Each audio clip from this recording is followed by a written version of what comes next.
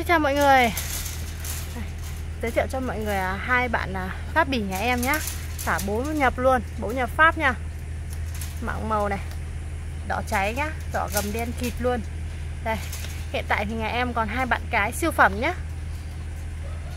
Dáng vóc này Cực kỳ là đẹp luôn, cao dài xuống chó nhá. Chân tay cực kỳ dài luôn. Đây mọi người, một bạn cái gầm đen kịt nhá. Thần kinh cực kỳ căng luôn. Còn một bạn này này chuyên ra là chỉ có nhảy ra khỏi cái lưới mét hai này thôi nhá. Rất là căng luôn bạn này căng chưa mọi người? Hai bạn cái siêu phẩm duy nhất trong đàn nhé. Chỉ còn hai bạn chân tay to chưa? Quả ngực này. Nở ơi là nở nhá. Đây mọi người ơi gầm đen kịt luôn ngoài đen như đánh xi nhá. Đấy bạn này thì um, hiện tại đã dao động phải 12 13 cân rồi. Em quay từ lưng xuống cho người xem. Rất lông rồi căng cho mọi người cắn không nhả nhá. Này. chất lông này. Hai bạn hai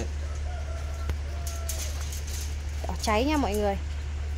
Đấy, lông rất là sát và bóng mượt nhá. Hai bạn mõm hộp này mặt đẹp chưa? Mặt cực kỳ là đẹp nhá. Duy nhất chỉ còn hai bạn nhé mọi người nhanh nhanh tay. Hai bạn Đó, cái cho mọi người này nhà nơi sinh sản cực kỳ là tốt luôn. Siêu dòng phẩm. này là dòng sai đại nha mọi người. Siêu phẩm chỉ có một lần thôi. Đấy. cao chưa? Cao bằng cái lưới mét hai nha mọi người.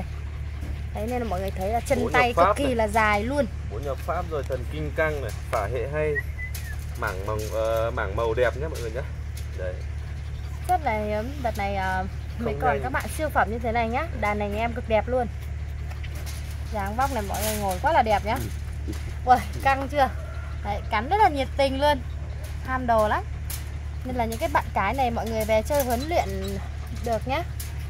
Đấy, thân kinh. Vừa phải này để nuôi sinh sản nữa. Đấy mọi người à, nhớ nhé muốn đón các em ấy về nhà mới thì hãy nhanh tay liên hệ bên em nhé Đấy, cực kỳ là đẹp luôn. Xin chào mọi người.